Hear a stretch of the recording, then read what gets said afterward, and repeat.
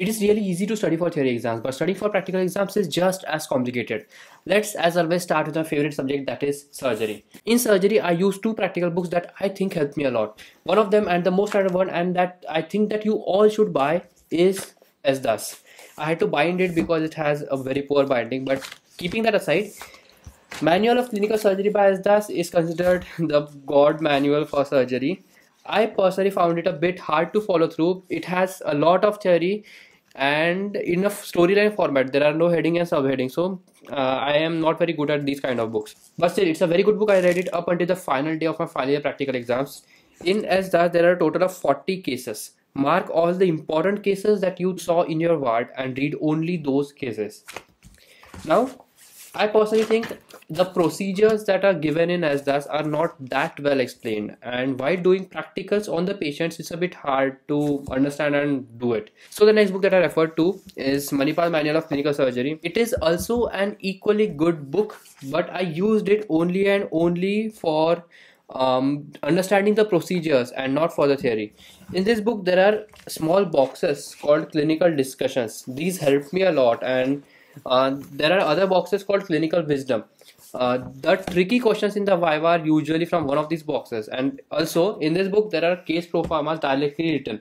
So this book is more of a spoon feeding type of book. And I think you'll love it if you try it well, there goes surgery. The surgery practicals include one long case, one short case of surgery, one short case of orthopedics. Now, where to study for orthopedics for practicals? I have no idea. So please ask someone else. Now, for X-ray specimens, instruments, and procedures, the God book that I found, and thanks to Anuj because he told me about it.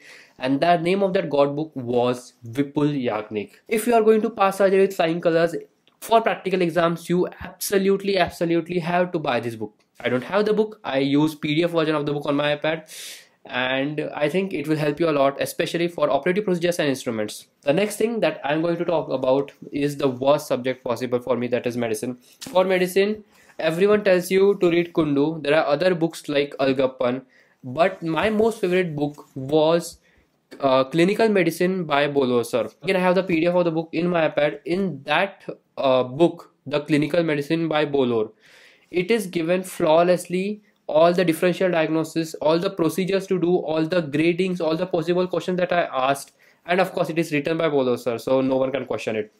Now the standard book for practical is Hutchison. I read Hutchison but i personally think that it is not something that will stick in my brain. So my whole final year i was referring to clinical medicine by Bolor and I think that was enough to do good in my medicine viva now this book that is bedside clinical medicine by kundu has cases written in it. And along with the cases there are questions and answers that are usually asked in the viva so if you are someone who has a viva in two days or three days this is a book that you should be reading. Reading this book in question answer format will help you answer questions faster in viva so these are the two books for medicine that i will suggest you. Again X-rays, ECG, etc. is given flawlessly in clinical medicine by Bolo, so you don't need to refer to any other book. Now there are a few topics like stroke, of course, ECG, um, some x-rays that are hard to understand. So i suggest you to follow white army youtube channel. That channel also has videos by bolosar himself so it will be very easy to understand. And there are a lot of clinical case presentations done by the students in front of the teacher. So you'll get a vibe of how viva works and where they ask the questions and all the general things. So make sure you refer to the channel. It is not sponsored. So this is something that i feel. Go ahead if you want to. The next thing that I want to talk about is pediatrics. Our unit in charge in pediatrics asked me to buy this book santosh kumar. This book um, again has all the cases with question answer and explanation. And again it has spoon feeding that they have given sample cases as well. The best part about this book that i thought was the pediatric case sheet examination of newborn history taking general examination growth and development and the disorders etc are given as a separate section. Signs and symptoms in general examination as well as each system is given as separate section. So this book made my pediatrics a lot lot easier. So i think you should refer to it too. Now this book will not be that helpful for instruments for pediatric instrument as well i will suggest you to go for medicine and for uh, things like grains cereals eggs and calories and stuff and vaccines and drug dosing. Go and read psm because psm is very helpful especially in that section.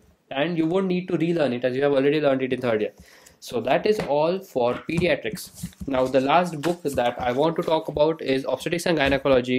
This is a god book that i accidentally found when i went for my biochemistry quiz and i came second and this was the book that the um, that was the prize for me. And let me tell you this book has helped me immensely. Just go buy it and read it. You'll understand. Again it has cases along with questions along with extra edge part so you will not miss it. And some things like labor how uh, cesarean section works etc is given as a separate section so you'll understand it much much better. It's for obstetrics it's for gynecology it has instruments specimen imaging spotters partographs etc so your whole obstetrics and gynecology will be covered in this book. How to read a book? You know how reading book works. Just take the first page and start working on it. Now i think it is very important for you to know that please attend all the clinical postings and take as many cases as possible I took around 20 to 30 cases of stroke. Now that case has become a part of me and my brain, so it is not at all hard for me. It is easy and it is better to make mistakes when you are in posting rather than making mistakes in the university exam because university exam can cause you to fail, but postings is an opportunity to learn. It will help you interact better with your patients as well as your teachers, and it will help you sharpen your skills. For example, hearing the murmurs, doing the Babinski sign, etc. etc. Now, keeping that aside, what if it's just one week left for the exam and you need to revise it as fast as you can? That's when manual for practical examination by pratik patil and samartha thakkar comes. This is a book that a lot of people will not like especially the teachers but for medicine and for surgery this book is very good revision book for practical exams. So you can try reading this as well. That is all the information that I wanted to share about for practical exams. I have already made a separate video about how the practical exams work and how my practicals went by. So please be sure to check about it. This is Abhijeet signing out. Thank you very much for sticking by and please subscribe to me for more such videos. Bye bye.